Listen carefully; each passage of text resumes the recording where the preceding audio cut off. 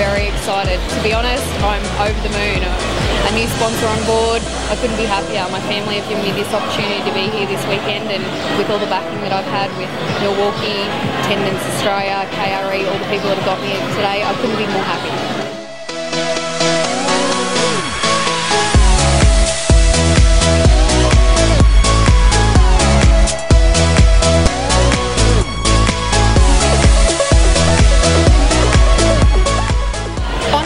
I thought for the first time that I would let the clutch out and I'd be terrified and and I would be take my foot off the clutch, slow down, that's it, I've had enough.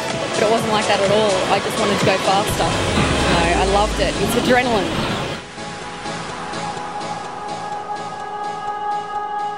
Oh, sometimes I get a good feeling. Yeah.